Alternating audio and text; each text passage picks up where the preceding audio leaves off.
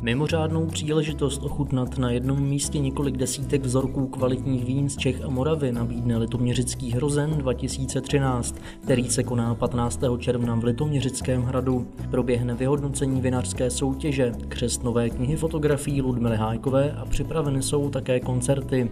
Program bude probíhat od 10 do 22 hodin.